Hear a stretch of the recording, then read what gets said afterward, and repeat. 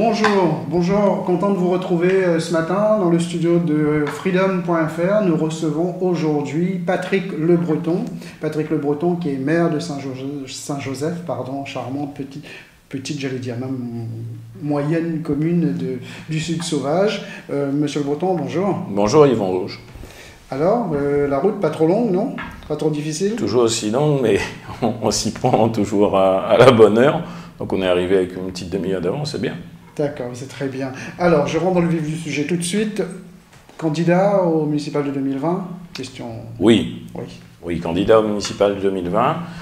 Un journaliste, euh, en début d'année, m'avait demandé si j'enfilais sur un quatrième mandat. Euh, peut-être certains n'avaient pas compris ma réponse. Oui, j'y vais, mhm. mais il faut bien commencer par un quatrième mandat. Mais nous terminons aujourd'hui sur Saint-Joseph un cycle de trois mandats. Hein, oui, parce que vous avez été élu en 2001, en 2001 je rappelle. Oui, voilà, donc, euh, vous avez été entre-temps député aussi de 2007 à, 2017. et après, vous avez fait le choix de garder la mairie plus tôt. Oui, parce que je pense que c'est le mandat de proximité, c'est celui qui est le plus près. On dit souvent qu'on est à portée de GIF.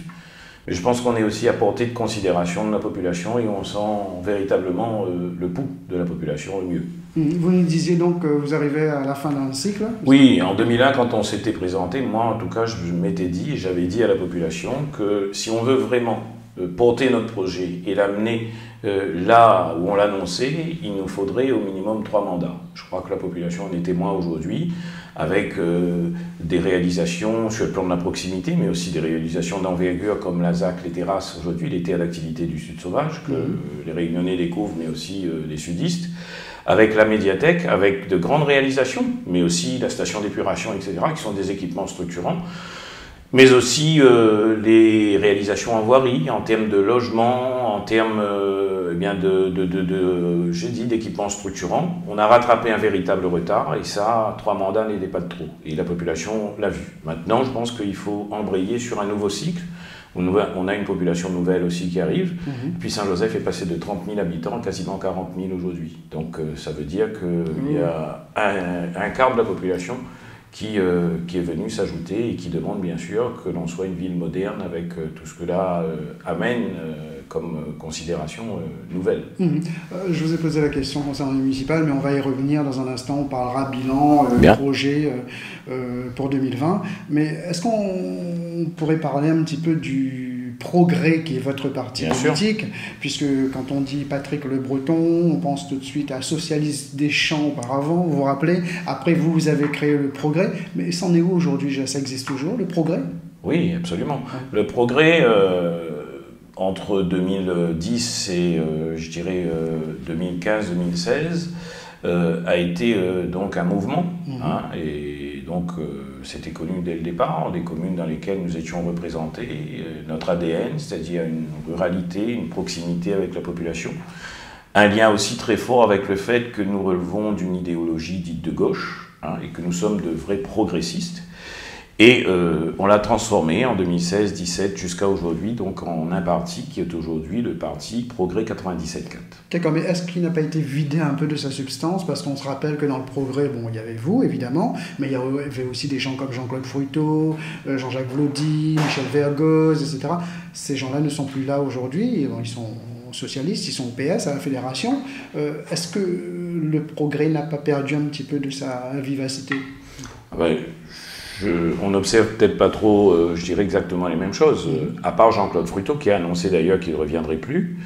Euh, les autres personnes que vous avez citées, moi je ne sais pas si elles sont encore au PS, il ne me semble pas. Oui, en marche. Hein. Donc, ah, c'est pas tout à fait la même chose parce que j'ai cru comprendre en vous lisant même que Madame Girardin était venue aujourd'hui en s'appuyant sur un en-marchiste mhm. pour pouvoir rassembler la droite. Donc pour moi, Monsieur Macron n'est pas un homme de gauche. Je veux dire que s'il a conseillé, d'ailleurs c'était la grande erreur de François Hollande, c'est d'avoir suivi les conseils euh, de M. Euh, Emmanuel Macron et de M. Emmanuel Valls, et ça ne vous a pas échappé que c'est là que mon divorce, moi, avec eux, a été véritablement consommé, puisque j'avais dit quand Manuel Valls, de manière caporalisante, avait euh, sorti systématiquement le, 49.3, notamment sur la loi El Khomri, j'avais dit que ben, s'il sort cela, moi je sortirai le 97.4.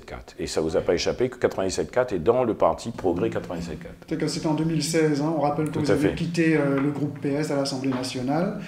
Donc vous nous dites aujourd'hui que le Progrès est bien là et qui compte même se positionner ou pas par rapport au municipal? Le Progrès a nature à, se positionner là où il a véritablement germé et vécu, été formé. S'il y a des gens qui ont travesti, qui ont trahi, et qui, heureusement, sont partis, euh, ce n'est pas euh, ceux qui ont constitué véritablement cette structure qui aujourd'hui euh, vont se dire qu'il n'y a plus rien à faire. Au contraire, je pense qu'il y a un électorat aujourd'hui qui est complètement orphelin de ce qu'a été hier le Parti socialiste. Il n'existe plus le Parti socialiste. Mmh. Vous, vous n'avez plus aucune relation avec le PS local? J'en aurais pourquoi?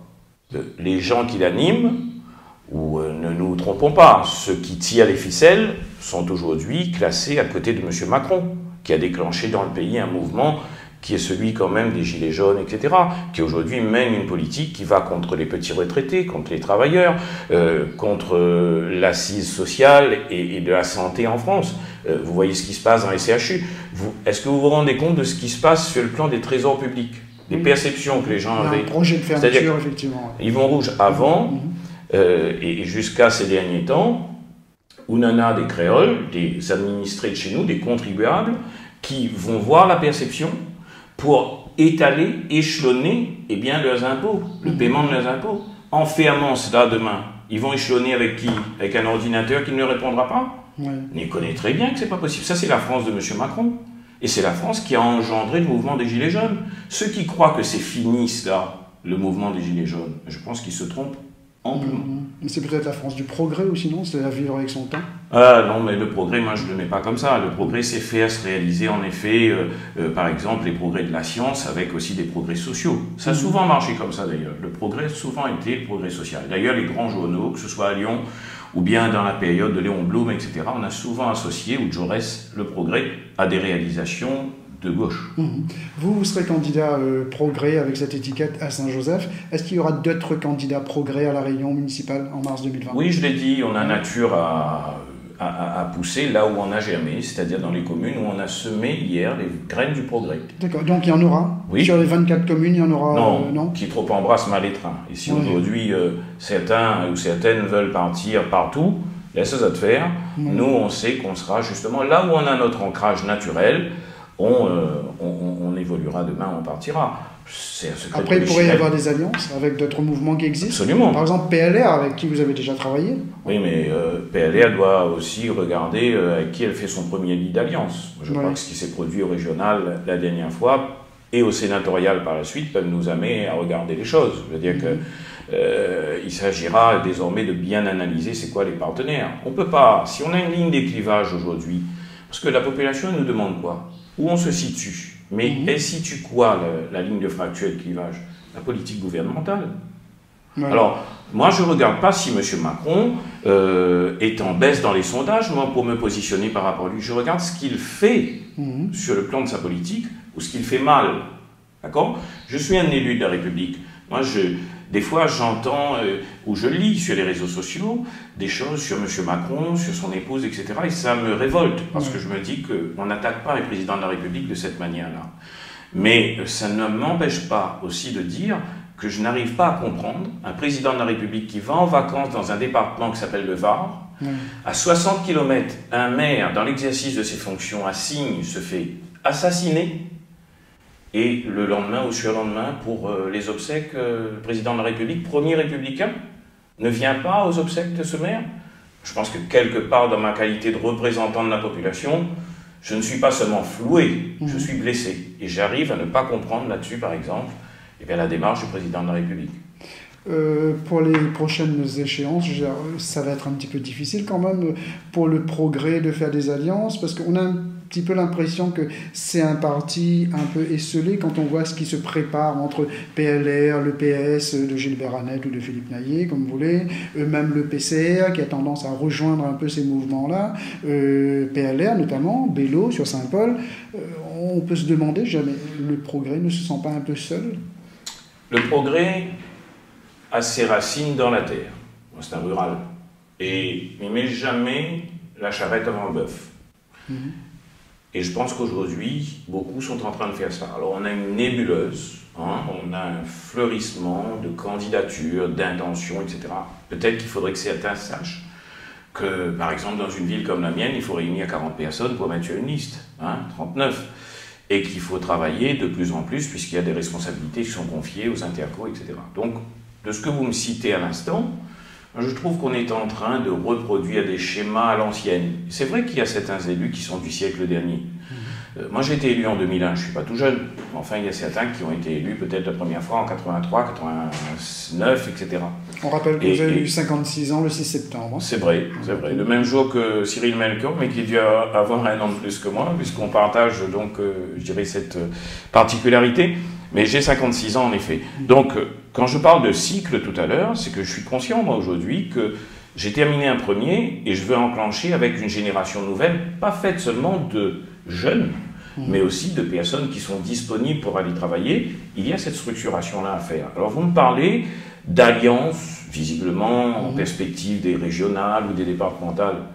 Mais quand il disait que n'y met pas la charrette avant le bœuf, en bon rural, en bon yab pays, c'est tout simplement pour rappeler les choses.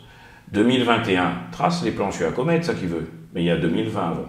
Moi, je pense que ça va conditionner. Euh, c'est essentiel et c'est clair. Mmh, mmh. Moi, quand on me dit aujourd'hui que M. le Président de la République est fort puisqu'il a fait. Euh, il a épaufré et éclaté euh, le paysage politique, mmh. cette première partie-là, je suis d'accord. J'observe comme tout le monde. Mais je n'ai pas encore vu aujourd'hui faire réussir son parti sur une élection. On ne me parle pas des européennes, ce n'est pas une élection test, d'accord? Mais c'est une élection locale, c'est une élection de représentativité, mm. j'attends de voir. Enfin, j'attends pas seulement, je regarderai, j'observerai.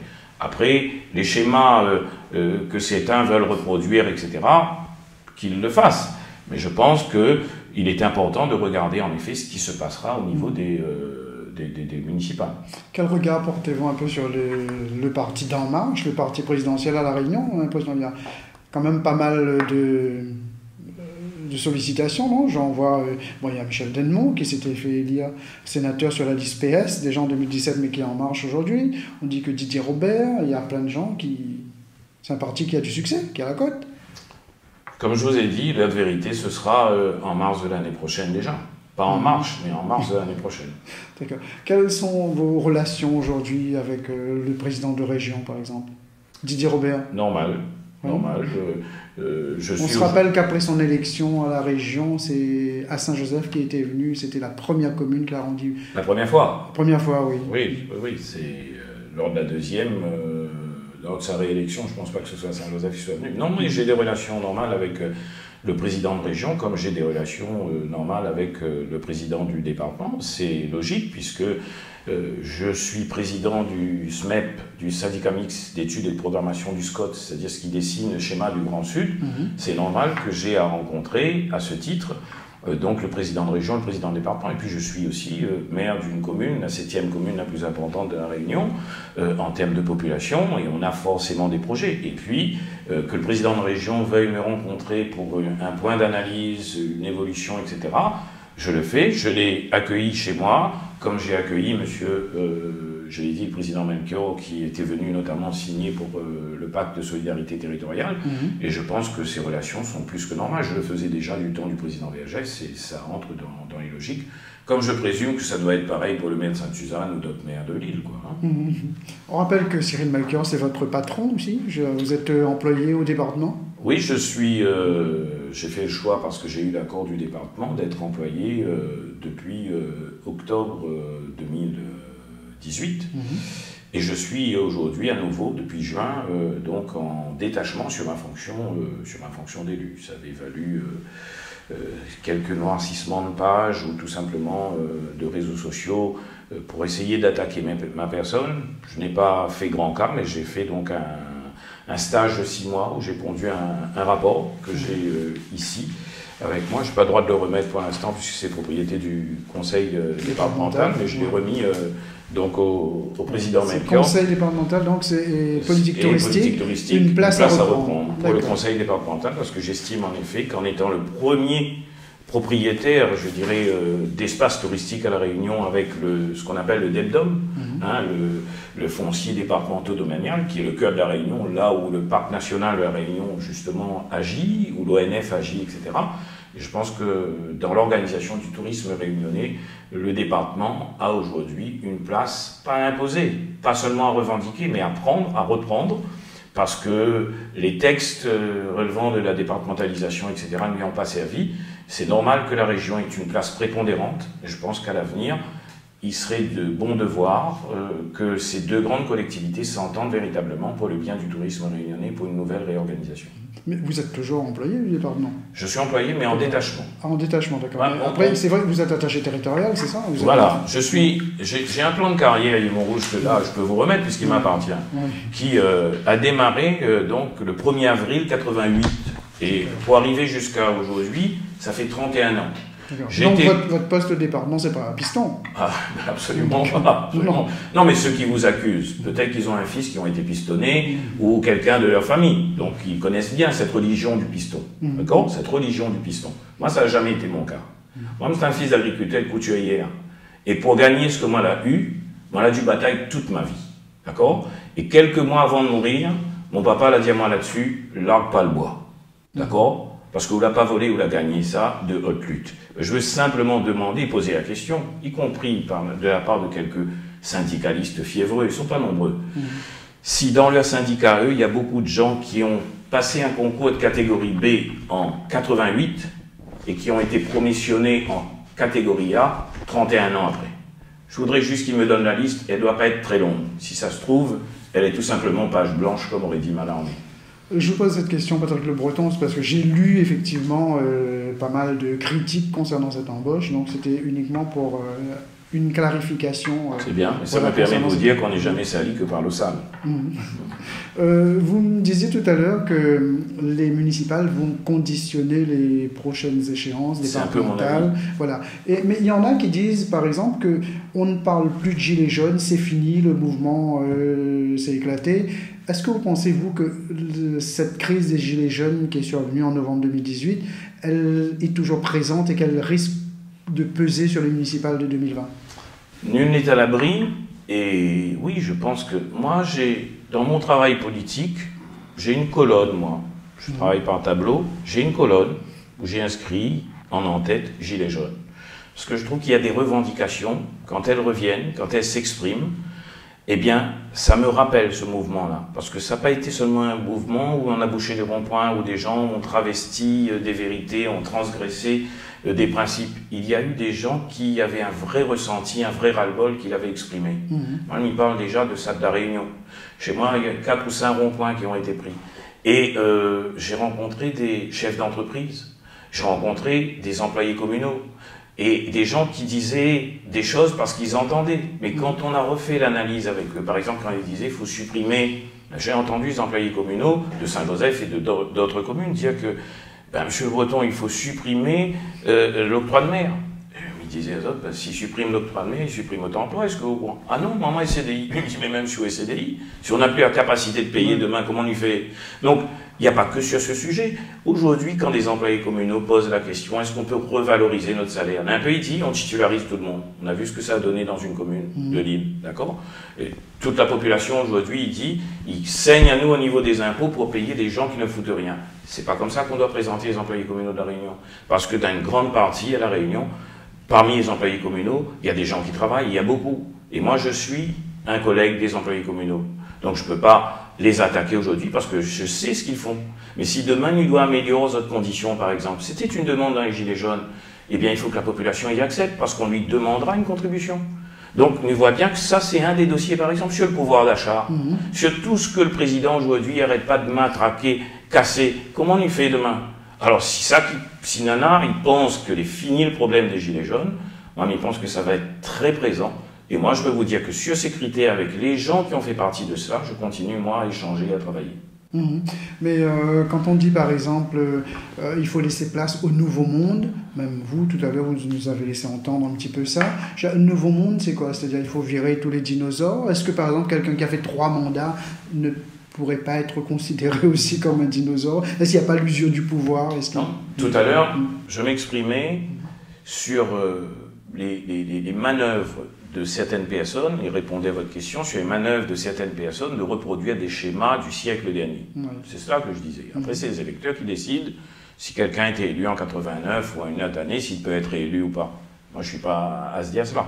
Sauf que quand je me regarde dans une gare, je me dis, j'ai pris un peu d'âge, il faudrait que ceux qui sont un petit peu avant moi, même si, comme dirait Molière, ils ont à souffrir de la chose, ben, ils font le même constat. Après, c'est pas interdit qu'ils soient en forme, etc. Et puis, il y a d'autres qui arrivent derrière. je crois sincèrement, moi, qu'il faut de tout pour composer.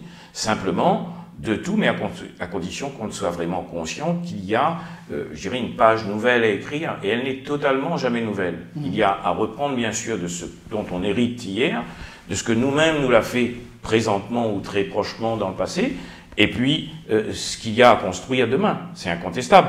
Donc moi, je ne suis pas pour euh, qu'on relègue ou qu'on rejette des personnes, qu'on interdise aux gens de se présenter. J'ai cru comprendre que c'était dans une loi euh, véhiculée par M. Macron à un certain moment. Je pense que c'est pas une bonne idée. Le choix reviendra de toute façon toujours au peuple. Au peuple, oui. on a compris que vous, la politique Macron, c'est pas trop votre affaire. Pas trop. bon, voilà. Mais il peut encore évoluer. Il peut encore évoluer. Moi, je suis pas en 2022, oui. Oui, je, il n'y a que les imbéciles qui ne changent pas. Voilà. Il faut qu'il y ait des actes, par contre. Hein. Qu'est-ce que vous pensez de la dernière visite de Mme Girardin, ministre de l'Outre-mer? Ce n'est pas sa première visite, évidemment, elle en a fait euh, plusieurs. Mais euh, quand elle parle des PEC en disant voilà, j'annonce 1000 PEC de plus, vous, vous êtes maire, vous avez ça à gérer, c'est les contrats, les petits contrats. Euh, c'est quoi le problème? Parce que j'ai cru comprendre que la semaine dernière, le préfet avait dit qu'il n'y en avait plus. Elle, elle arrive, elle dit qu'elle en met 1000 de plus. C'est quoi la situation, vous, votre vécu à vous, à Saint-Joseph? Mais m'y retourne la question. Observateur politique vidé, M. Montrouge. J'y aperçois que ce n'est pas la première fois que ce spectacle nous est servi. L'année dernière, il était pareil, même au niveau des Gilets jaunes, etc. Donc à chaque fois, on nous ressort ça. Elle vient passer la serpillière avant la venue du président de la République pour que, après, quand il reparte, on ait l'impression que tout va bien. La réalité sociale n'est pas celle-là. Les PEC, c'est quoi? C'est par rapport au contrat aidé que nous avions avant, avant un contrat aidé, si par exemple ça coûtait 1000 euros, mais ça rapportait 700 euros à une personne, mhm. coût brut 1000 euros, une collectivité était aidée à 80 Oui, 80%, c'est-à-dire 800 euros. Il restait 200 dépensés. Mhm. Aujourd'hui, on est aidé à 480 euros et 520, c'est nous qui payons. Pour un contrat aidé, nous paye plus. Donc c'est plus de l'aide, mhm. c'est de l'investissement directement de notre part. Et j'ai cru comprendre que ceux qui se plaignaient plus, avant l'avenue du ministre, c'était les privés qui prennent des PEC. D'accord C'est mhm. un certain moment, il faut regarder aussi, parce que quand c'est une collectivité, on dit que c'est de l'assistanat. Quand c'est un acteur euh, euh, privé, on dit que c'est de l'investissement. Donc PEC, c'est PEC. Sauf que PEC, c'est un contrat aidé qui n'est pas valorisant et qui coûte pas cher. Parcours en plein compétence. Mhm. Le problème, c'est que c'est géré par Pôle emploi, mais il est souvent renvoyé vers les communes. Donc nous, on avait par exemple, pour la lutte antivictorielle, mhm. on nous avait dit, nous, au niveau des services de l'État, qu'on pouvait repartir sur une quarantaine de plus. Le problème, c'est quand on engage ces 40, pour aller chasser le moustique, ben, les services de l'État nous disent que ça se bloque, il n'y a plus, mhm. jusqu'à nouvel ordre. Et là, la ministre arrive tout d'un coup en disant non, vous n'avez pas compris, c'est pas ça qu'on a dit. Si, c'est ça qu'on a dit, on bloquait. Donc elle, elle a dit on débloque et on remet 1000 de plus, mais enfin 1000 à l'échelle du département, s'il y a un véritable besoin, public et privé, je ne sais pas si ça répondra. Je veux juste dire qu'en janvier, il y a la rentrée scolaire et que c'est là il y aura les PEC, etc. Je souhaite tout simplement que tout le monde prenne, euh, prendra ses responsabilités et à la veille de cette période difficile, se prépare pour que les choses se passent. Aujourd'hui, on est en régime sec. C'est ça la réalité. Il n'y a plus euh, cette, euh, comment dire, cette espèce d'équilibre social qui s'opérait sur les contrats aidés. Alors certains ont dit qu'on va faire de l'emploi, on va réussir à investir. Moi, je pense qu'on est dans une économie à La Réunion où les possibilités sont limitées. Les entrepreneurs, euh, le privé, euh, les investisseurs ne peuvent pas euh, produire plus que ce que la réalité économique donne. Mmh. Donc, il y a un côté social qu'il faut gérer. À certains moments, si on n'arrête pas, je dirais, de nous assécher les moyens, il, nous faudra, il ne faudra pas nous demander de faire le travail de l'État à sa place. Il faudra que lui-même il vienne faire. Bien sûr. Euh, on dit que le président de la République va venir en, octobre, vers la mi-octobre, mais non, s'il vient, hein, parce que c'est pas encore confirmé, est-ce que vous vous attendez, euh, qu'est-ce, enfin, qu'est-ce que vous attendez concrètement de cette euh, venue? Ben, En tant que maire de Saint-Joseph, évidemment. Hein. Moi, je serai dans la courtoisie républicaine. Mais je veux dire qu'à l'heure d'aujourd'hui, quand on regarde ce qui s'opère sur le pays, vous pensez qu'il va annoncer qu'il changera euh, complètement et radicalement sa politique? Non. les petits retraités qui viennent voir nous pensent que notre situation, il s'est changée. Nous-mêmes, au niveau des collectivités, on nous a bloqué la taxe d'habitation. Ben, si quelqu'un dans la population, tout d'un coup, se retrouve allégé d'un paiement qu'il avait, bien sûr qu'il va dire que c'est une bonne mesure, sauf que M. Macron a donné un cadeau qui ne lui appartient pas. Mhm. Parce que depuis les lois de décentralisation, euh, l'ancienne patente, la taxe sur le foncier bâti et non bâti, euh, la taxe d'habitation, c'était les quatre recettes qui revenaient euh, donc à euh, la collectivité décentralisée pour mettre la décentralisation en place. Aujourd'hui, ce contrat est rompu. Je me demande même si c'est pas anticonstitutionnel. Donc nous, on se retrouve privés de moyens, et nos moyens sont asséchés. Est-ce que là-dessus, le président de la République peut répondre demain? Très franchement, moi je pense que s'il avait apporté cette réponse, c'est s'il est un nouveau candidat en 2022 et qui dit j'ai compris, et que peut-être dans une réalité politique, j'ai encore mes chances, il faudrait offrir autre chose. Mais je ne le vois pas sur ce chemin-là aujourd'hui. Hmm, d'accord. Et vous, par exemple, sur Saint-Joseph, puisque bon, il nous reste 10 minutes, ça passe très vite, on va parler de Saint-Joseph maintenant. Est-ce que vous, vous dites que au bout de trois mandats, moi j'ai le sentiment du devoir accompli? Par rapport à ce qu'on avait à faire, oui. Parce qu'on a rattrapé le retard, parce qu'on a fait un certain nombre de choses, parce que je rencontre la population. Hier soir, je faisais une réunion dans le plus petit quartier de Saint-Joseph, l'un des plus petits quartiers, mais qui est charmant, qui s'appelle Matouta, en frontière, en lisière de Saint-Philippe. Mhm. J'avais 30-35 euh, personnes qui étaient présentes, qui échangeaient avec moi. Euh, je parlais de la réalité des gens. Et on était dans, par exemple, il a fallu me battre dans le cadre de mon plan local d'urbanisme contre et face au service de l'État qui disait que dans les Hauts, suivant une ligne nationale, on ne construit plus de logement social. Or, dans ce quartier-là, si je construis, construis plus de logement social, il n'y a plus d'école. Il y a 37 mamans, l'année prochaine, il y en a 34. Et les deux profs m'ont dit, ben nous, nous sera un ennemi. Alors, ils coupent les jambes de qui? Pour euh, faire un ennemi. C'est un moment, il faut qu'on soit présent, mhm. il faut qu'on donne du sens à la proximité. Dans ce domaine-là, je pense que oui, on a fait un grand pas. On a donné un statut à Saint-Joseph, on lui a permis d'arriver là où il est aujourd'hui. En plus, on a donné le statut d'être le centre du Sud sauvage mais ça confère aussi des devoirs à bien travailler avec la commune de Saint-Philippe, de Petite-Île, et d'avoir aujourd'hui, je dirais, une zone euh, d'attractivité. Nous, c'est le pôle euh, qui va de Montvert-Grandbois jusqu'à Saint-Philippe, et donc, dans ce sens, on a eu un gros travail. Je donne un exemple. J'ai parlé d'économie tout à l'heure, mais il n'y a pas que la ZAC, les terrasses. Notre pluie nous confère désormais une zone de 5 hectares sur euh, Vincent d'eau. Il y a des besoins les chefs d'entreprise nous l'expriment. On a mis contre la vie du Sar deux dans les hauts, petites zones, mais qui sont importantes à Jean Petit et à Bézave. On a un autre projet euh, demain qui viendrait sur la fin de la contournante, etc. Donc, dans les actions économiques, avec les gens, on intervient. On est sur un projet avec les agriculteurs dans les hauts de la crête, etc. Euh, le plus n'est pas que euh, la bonne nouvelle, parce que c'est aussi les contraintes que, notamment, la région, l'État au-dessus de nous nous impose mais on essaie de trouver une solution. Ça, c'est sur le plan de l'aménagement. Quand, pour les personnes âgées, parce que Saint-Joseph a deux marqueurs, on a une population jeune et on a une population âgée. Quand pour la population âgée, quand je suis maire en 2001, on a une résidence de personnes âgées.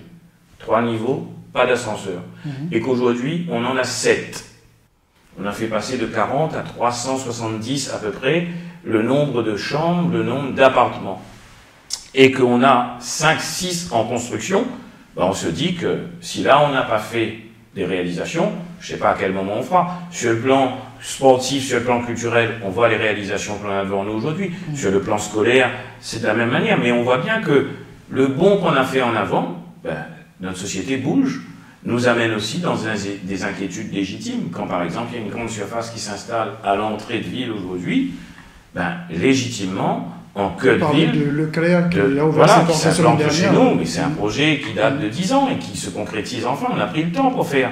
Eh bien, les commerçants du centre-ville, légitimement, se disent euh, qu'est-ce qu'il faut qu'on fait? Alors, c'est sûr qu'il faut agir. Si on est aujourd'hui dans le programme Action Cœur de Ville, quatre communes à La Réunion, Le Port, Saint-Pierre, Saint-André, qui sont des communes à dispositif de renouvellement urbain, en rue, nous non. Nous, on joue notre ruralité, c'est-à-dire modernité et art de respect de tradition. quand on est dans cette logique-là, on a encore du travail à faire. Et moi, je dis quoi aux commerçants? Ben, non pas baisse les bras. Il faut que nous retrousse les manches. De toute façon, sur la terre de Joseph Hubert, que la Ligue à nous, nous, là où nous est, euh, dans les années 1700, on sait très bien qu'on n'a jamais obtenu quoi que ce soit des autres. Il faut que nous travaillions, nous retroussent nos manches. Mhm. Que nous, les CAF, Malbar, Chinoises, Arabes, euh, Oreilles, Yab, notre toutes, nous doit véritablement faire ce travail-là parce qu'on a au moins une chose pour nous, c'est d'être réunionnés, de vouloir être réunionnés. Ça, c'est mon combat. L'aménagement du centre-ville, ça, ça c'est un projet toujours en cours là C'est un projet du, en cours plus que jamais. C'est un chantier et on a été retenu pour être justement dans le programme des 222 cœurs de ville, dans Action Cœur de ville. D'ailleurs, la semaine prochaine, je dois aller à Arras avec une délégation à l'invitation de la Banque de Territoire qui finance ces travaux. Et nous, pour pouvoir réaliser cela, on va faire donc notre fameux chantier de l'endiguement de la rivière des Remparts. C'est près de 20 millions d'euros d'investissement. 20 millions d'euros d'investissement mmh. sur trois années trois tranches, et c'est la commune qui doit véritablement faire le portage, même si aujourd'hui c'est une compétence de la CA Sud. Donc, euh, même si on est subventionné à 80%, ça veut dire qu'il faut qu'on soit capable de porter 20 millions mhm. sur euh, nos reins financiers pour ensuite donc euh, réceptionner les, les, subventions. Donc, il y a de l'investissement, il y a du travail qui est fait, mais il faut aussi que la population en soit consciente pour se mobiliser. Mais j'ai confiance, parce qu'aujourd'hui, on fait des travaux de mise en double sens dans le cœur de ville autour.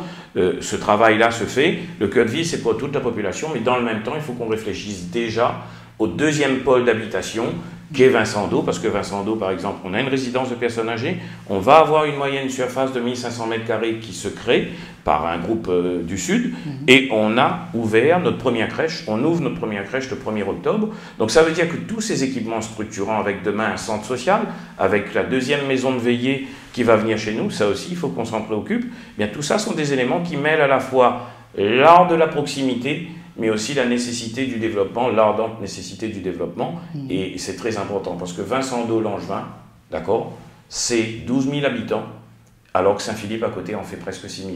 Donc on voir à peu près le, poids que nous a donné. Il y a un autre gros volet, c'est les travaux routiers aussi dans votre commune, non? Oui, alors les travaux routiers, vous me tendez une perche, je vais la saisir bien évidemment. Il y a des travaux routiers que l'on réalise nous-mêmes.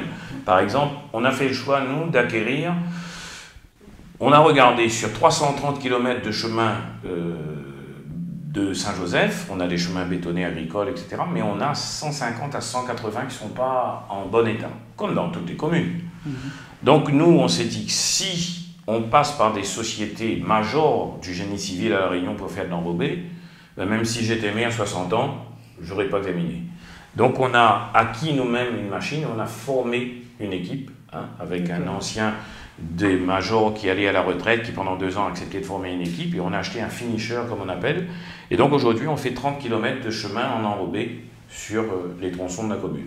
30, on est aujourd'hui à 60-70, et la population voit ce que l'on fait. Et donc on aimerait demain être une commune, je dirais 90% chemin en enrobé, etc.